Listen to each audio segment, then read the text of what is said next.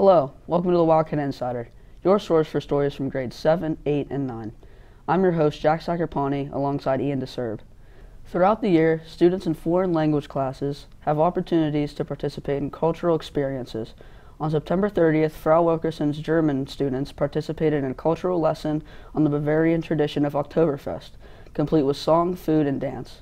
We had a chance to check out the experience and talk to some of the participants.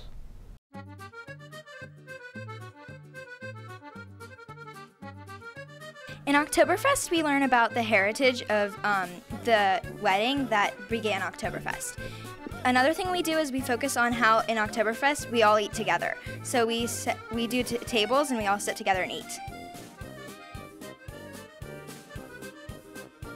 My favorite part about Oktoberfest is being able to eat the German food. Um, my favorite thing was probably like food and pretzels and the tables and the cookies.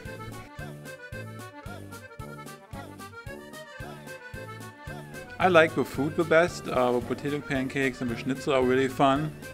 And also like the overall atmosphere. It's really like cozy and comfortable sitting there with friends and family and having a good time and enjoying good food and just being there. So that's my most favorite thing about the Oktoberfest. Yes.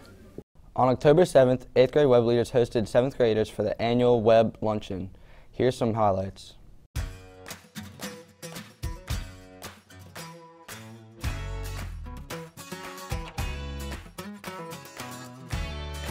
My favorite part about being a web leader is planning fun events for the 7th graders and doing them. My favorite part about the web leader lunch is meeting new people. My favorite part about the web lunch um, are all the snacks that the web leaders brought because they're really good.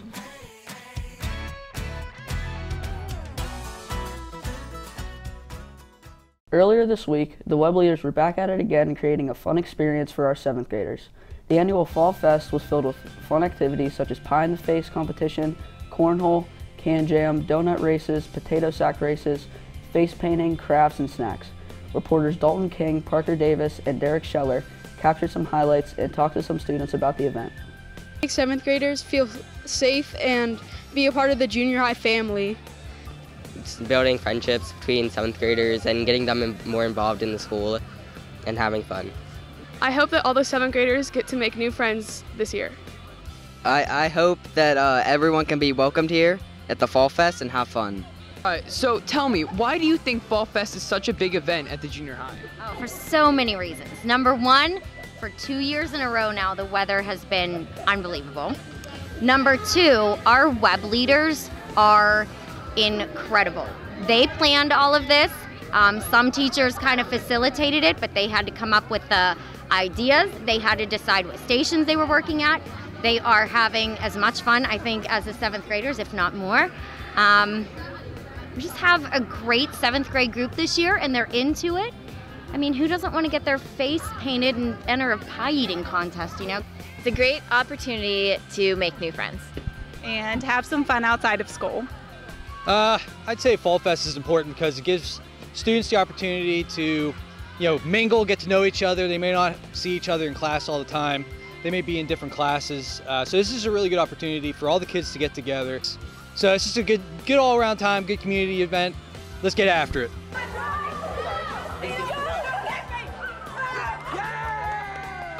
I feel very good. Although Mrs. Finger, she almost had me.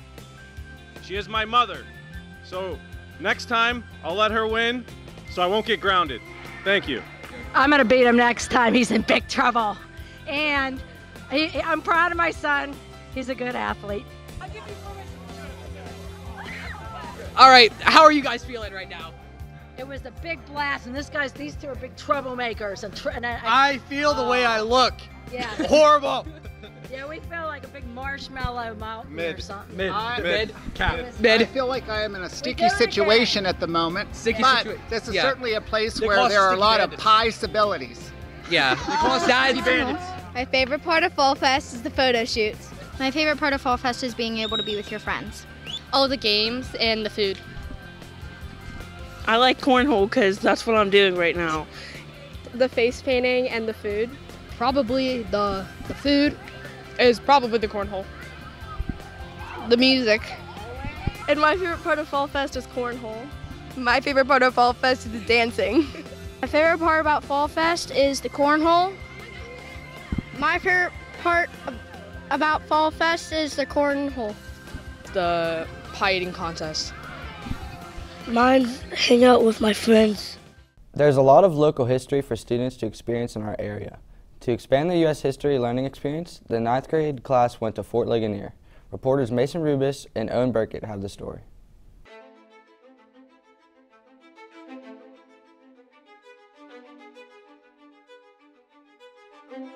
So we had an opportunity uh, a couple years back to consider going to Fort Ligonier, and it was such such an easy decision to to push for, with it being part of the ninth grade U.S. history curriculum, and then also being right here in our own backyard. Uh, it was an easy decision. I really liked when they shot the gun. Favorite part about Fort Ligonier was probably like knowing like how all of the soldiers live.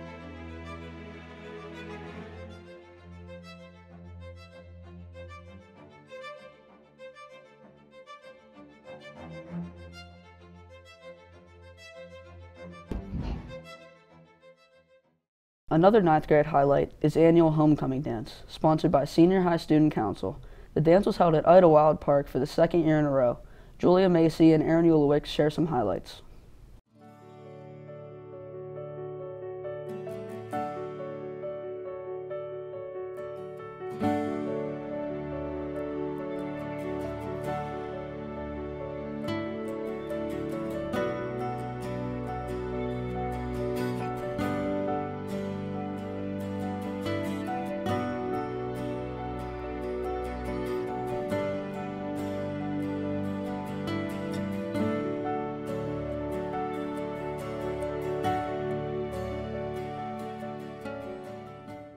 The MindWorks class held their Attitude of Gratitude gathering on October 13th. Students were invited to share three items that bring about a feeling of gratitude in their lives as well as the small stories behind them. My dog's name is Mace, and in the mornings he makes me feel happy because he'll like wake me up in the mornings. I brought an elephant from my uncle. I got a bag of coins here. Uh, these are meaningful to me because um, my grandfather he collects coins and well he kind of like passed that on to me. And i'm into it and that's like a fun thing to do together. We'd like talk about coins and stuff. So this is a ukulele, and it belonged to my great uncle, but uh, he recently passed away.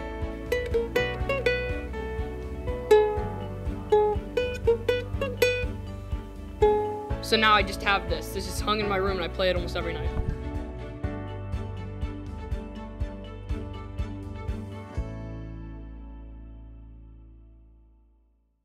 October 7th was the 28th annual band night at Memorial Stadium. Reporters Gabby Cunningham, Sarah Levan, and Brooke Cole spoke to Mr. Jordan and some of the band members about the night. The purpose of band night is to get our seventh and eighth graders here in the junior high uh, to uh, mix with our Wildcat band members at a Greater Latrobe football game.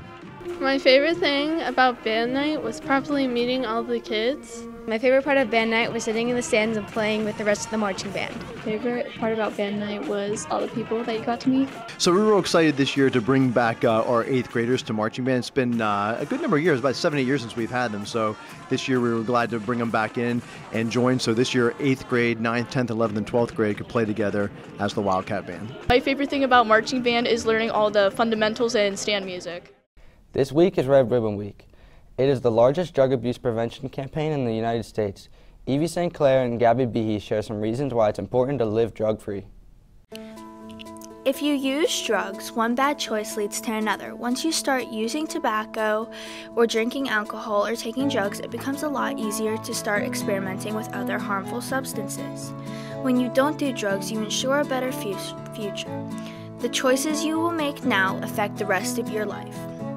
Add, if you don't use drugs, you will be happier and more content. Even though drugs, alcohol, and tobacco have short term happiness, they will lead to depression, guilt, fear, paranoia, and despair. You will also sleep sound and have better memory. Tobacco, alcohol, and drugs interrupt normal sleep patterns and often interfere with new learning in the normal memory processes. Lastly, you will feel healthier and more fit.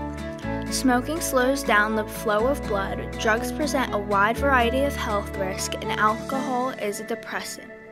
The theme of this Red Ribbon Week is Celebrate Life, Live Drug Free. Here are some of the highlights.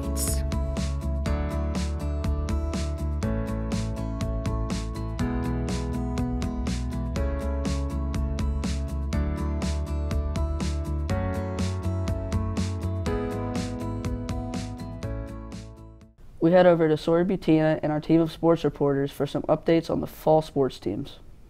Thanks, Jack. The fall sports teams have been working hard. Here's Mitch Horner with an update on the football and swim teams. Thanks, Sawyer. The boys football team is having a great season so far with a record of 4 and 3. Led by 8th graders Hunter Snyder, Clayton Burkett, and Tyler Wisniewski, the boys have battled hard. I had a chance to interview Mr. Trenton and some players. I pancaked somebody. I'm awesome, buddy. My favorite memory from this season is getting my first touchdown. Uh, mine is probably when we won our first game. Yeah, I'll be honest with you. I really don't have a favorite memory. I mean, we, we've had a lot of good times. It's hard to pick one. Um, we have a lot of fun as coaches coaching together. We have a lot of fun with the kids, and you know, we just we've had a good time these last couple months, and you know, we're looking forward to having a good and strong uh, last couple weeks of the season. Moving on, the swim team has been having a great season. They have gone against Kiski, Franklin Regional, Derry, Hempfield, Woodland Hills, Penn Trafford, Mount Pleasant, Somerset, Norwin, and Greensburg Salem. I spoke to a few of the swimmers about the season so far. My favorite part about swimming is just like the thrill of an event, like when the buzzer goes off, and you just have to give it your best shot. My favorite thing about swimming is doing 50 backstroke. My favorite thing about swimming is doing the freestyle stroke. Thanks, Mitch. We go to Brock Polinsky with an update on the boys soccer and cross country teams. Thanks, Sawyer. The boys soccer team had a very successful season. The team, led by captains Ryan Gunther, Jacob Stevenson, and Nolan Thomas, had a record of 5 2 and 2. We spoke to some of the players. Opponent this year for soccer was probably Hempfield. Our toughest opponent was probably PT. I think our toughest opponent was probably Plum. Our toughest opponent was Franklin Regional this year. The cross country team traveled to White Oak Park to finish up their season at the WAADA Championship. The boys finished 7th out of 14 teams with 187 points. Leading the way for the boys was Charlie Heese with a medal for 4th place, Mick Millay in 40th, Colin Ecker in 44th, Corbin Baum in 49th, Bowden Zaleski in 50th, and Mateo Durazio in 72nd. In the girls' championship race, the Lady Wildcats took fourth with 131 points out of the 10 teams. Leading the way for the girls was Angelica Dent, who was the runner-up in second for a medal, followed by Miriam Fridge in 26th, Peyton Schmucker in 41st, Kennedy Simon in 42nd, Caitlin Gaffney in 40th, Ella Wannell in 51st, and Sam Uthers in 59th.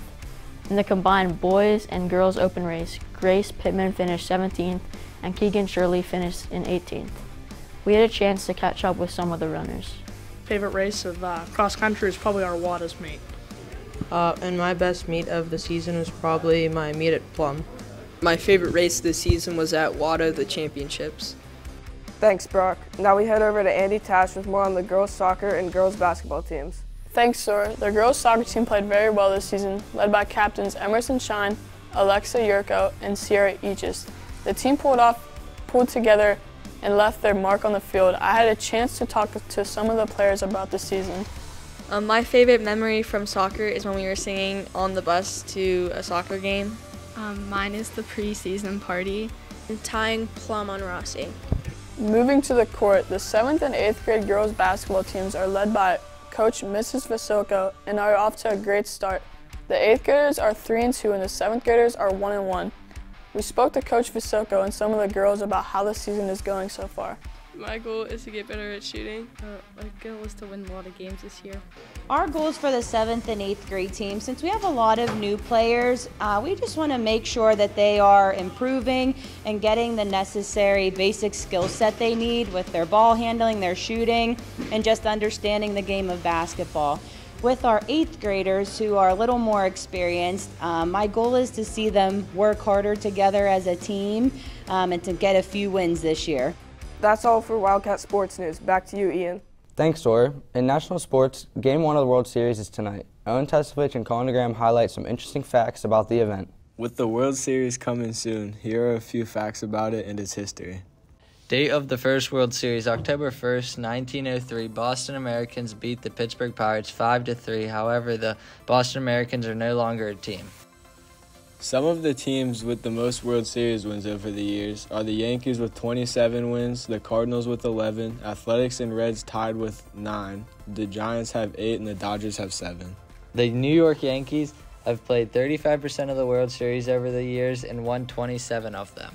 Deion Sanders was the first and only person to play in one Super Bowl and one World Series. In the finals, the Phillies versus the Astros. One teacher who hits it out of the park in his classroom is Mr. Major. Here are Savannah Repack and Peter Zackham with today's teacher feature. I'm Peter and this is Mr. Major. He will be with us for our teacher feature. The first question is, when did you start teaching? I started teaching in 2010. Mm-hmm. Um, and I taught in Virginia, and then I got hired here in 2012 as a seventh grade teacher. How did you want to become a teacher? Well, I had a lot of good teachers uh, that taught me, you know, some of the ones that you guys have right now. And so that combined with my love and passion for history, just wanted to share it. It was like a calling. I've never wanted to be anything else. What do you like to do in your free time? Um, I like to hang out with my family. Uh, we go to Steeler games, we go camping, fishing, hunting, you know, all that good stuff. What's your Halloween costume going to be this year? As always, I'm going to be Charlie Brown.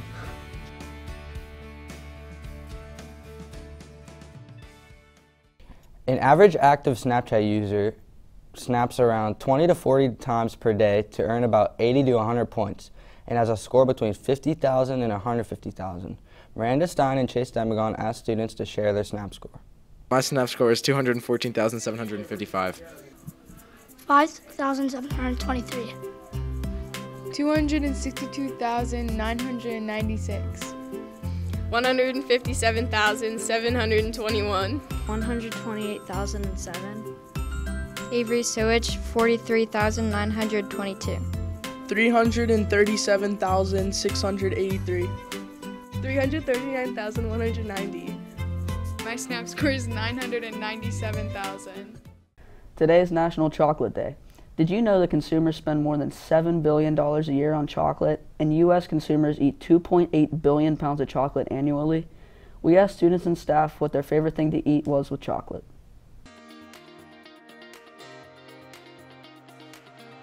Bananas. Strawberries. I like to eat strawberries with chocolate. I like to eat ice cream with chocolate. My favorite thing to eat with chocolate is strawberries. My favorite thing to eat with chocolate is French toast.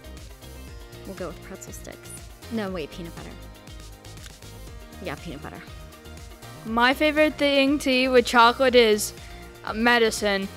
My favorite thing to eat with chocolate is strawberries. My favorite thing to eat with chocolate is cupcakes.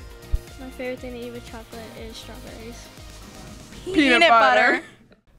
Chocolate is definitely great to eat with pretzels. Marley Hudspeth and Lily Murphy show you how to make a Halloween treat in our next segment. To make your Halloween chocolate covered pretzel, you'll need melting chocolates, microwave safe bowls, spoons, pretzel rods, and sprinkles to decorate. First, put your white chocolate in a microwave safe bowl. Then microwave for about one minute until it's melted and stir. Coat your pretzel with the white chocolate and let it dry. After it's dry, take your other colors of chocolate and drizzle on top of the pretzels. You can choose to decorate with sprinkles or eyes. And there's your Halloween pretzel. Gabby Cunningham, Sarah Levin, and Brooke Cole took to the halls for today's Halloween hot take when they asked, What is your favorite underrated Halloween candy? Probably dots. Used up chocolate. Hershey bar. Candy corn. Mike and Ike. Candy corn. Three Musketeers. Mine is Almond Joy. Candy corn. Oh my god, really dark chocolate. Anything with dark chocolate is good. It's a love it or hate it kind of candy, but this treat has been around since the 1880s and is one of the most popular Halloween candies. Here are Vince Coletti and Haley Bonnenberger with today's Take It or Leave It. Candy corn is disgusting, so I'm gonna leave it. I'll take it. Take it. Take it. Reese Myers, take it. I'll take it. I'm Mackenzie and I'll leave it. Leave it. Alex Ammon and I leave it. Take it. If you're looking for something spooky to do this weekend, Jakai McBriar and Jacob Klein highlight some haunted houses in the area. Here are some haunted houses that you can go to to have a fun night. Your first option is Fright Farm. It's located in Smithfield, PA. It costs 25 to $35 per person and it's open Thursday, Friday, Saturday, and Sunday. Your second place is Demon House. It's located in Monongahela, PA. It costs 20 to $40 per person and it's open Friday, Saturday, and Sunday. Your third place is 100 Acres Manor. It's located in Bethel Park, PA. It costs $28 per person and it's open every day. Your fourth place you can go is Castle Blood. It's located in Monessen, PA. It costs $25 per person and it's open Friday, Saturday, and Sunday. Your fifth place is Haunted Hills Hayride. It's located in North Versailles. It costs 15 to $20 per person and it's open Friday, Saturday, and Sunday. If haunted houses aren't your thing, you could also watch a Halloween movie to get in the spirit. John Massaro and Zach Flick polled students and staff to see which Halloween movie is their favorite. We went around the school asking 15 students from three grades, 7th, 8th, and 9th, and 5 teachers for a total of 50 votes. And here's John Massaro with the final results of our Halloween movies. Coming in at fifth place, we have The Nightmare on Elm Street with four votes. In fourth place, we have Hocus Pocus with seven. Third place, Michael Myers Halloween with nine. Second place, The Nightmare Before Christmas with 12. And in first place, Beetlejuice with 18 votes. With trick or treating just a few days away, Leslie Bell and Ashley Eberhardt asked students and teachers about their costume choice.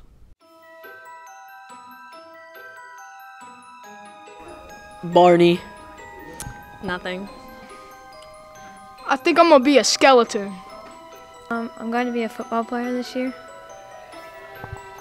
Hi, I'm going to be a 90s girl this year. Shaggy. A zombie. For Halloween, I'm going to dress up as a pro football quarterback and go to the Steelers because boy, do they need one. Taylor Swift.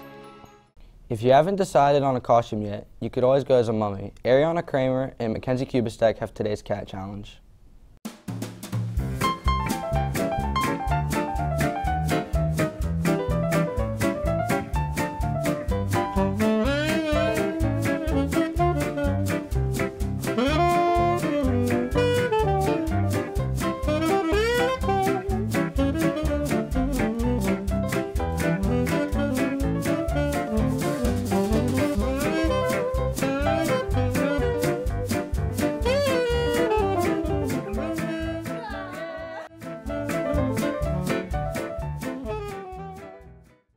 Hink pinks are riddles with answers that are a pair of rhyming words with the same number of syllables. Can you guess these fall themed Hink pinks by Haley Bruno and Boston Solori? What do you call a gentle type of nocturnal animal? An owl? I don't know. I don't know. um, an owl, I guess. What do you call a chubby feline?